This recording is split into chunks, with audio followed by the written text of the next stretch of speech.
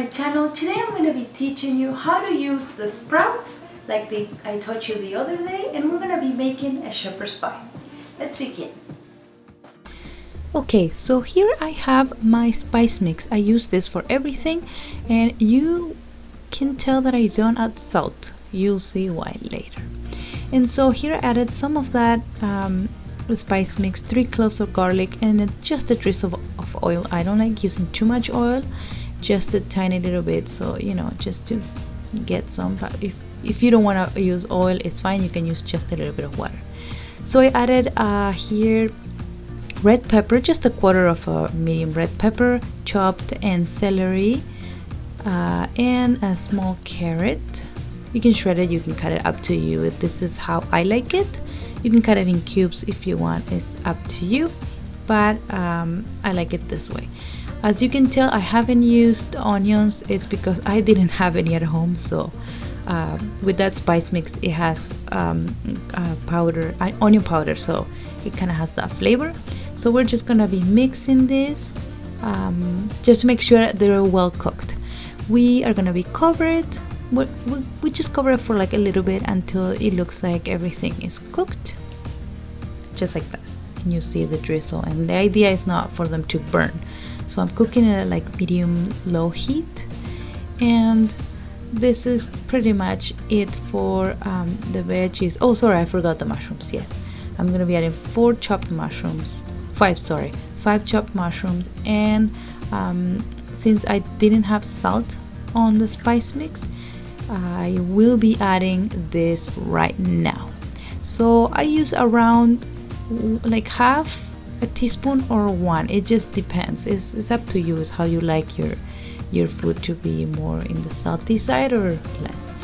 I try to eat with less salt so that's how i do it. Well and we will be adding more once we get uh, the other ingredients. And so we just mix it just like that. We want the mushrooms to be cooked. And so we're gonna be adding first i show the the lentils but first I wanted to show you this is the soy meat and on the uh, description box I will leave you how to make it. This is optional you don't have to use it. Some people are allergic to soy so if you don't if you don't want to use it you can use two cups of uh, sprouted lentils instead of this uh, soy meat. And now we're gonna be adding here I'm gonna be adding uh, half half a cup of the sprouted lentils look how beautiful they look. And um, you just mix it. And then I realized I wanted more of the lentils. So here I'm letting you know I actually use one whole cup because I add one more see? And that's what we're going to be using it. And we're just gonna be cooking this the same way we did with the veggies. Um, the lentils are made fairly easy so and fast. So we're just gonna cook it cover it and just you know it's around five minutes. We just mix it. We don't want it to burn or to stick to the pan. And we just try it see if it needs anything. Uh, here I realized uh, it, we could have a little bit of more spices so I added just you know just a little bit to give it more flavor. And I'm gonna be adding a little bit of more salt.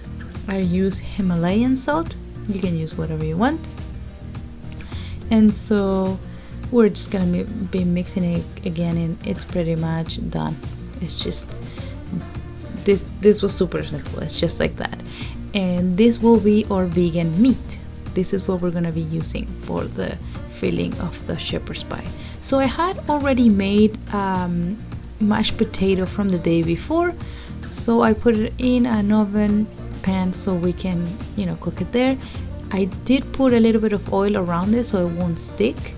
This uh, I will be using like three quarters of whatever I made to make this uh, this amount of shepherd's pie. And in this with this we have we actually get six pieces which is we are three people at home. So for us it's like the perfect measurement. And the rest that's what was left. And the rest of the mashed potatoes will go on top just like that. It is super simple. If you have like mashed potato you can use the mashed potatoes like the box one and that's like that's easier because you know what you're adding right? Like make sure that it doesn't have milk. Some of them have milk. And that's it. And this is a trick from my grandma. She put parmesan cheese on top and it looks beautiful. Where I already pre-cooked my oven it's uh, 350 Fahrenheit. And we're just you can cover it but mine uh, my oven can cook under and on top. So we're gonna be cooking it for around 10 to 15 minutes. It's until it's you know um, golden brown on top as you will see in the next picture. And once it is all done just like that. Look how beautiful that looks.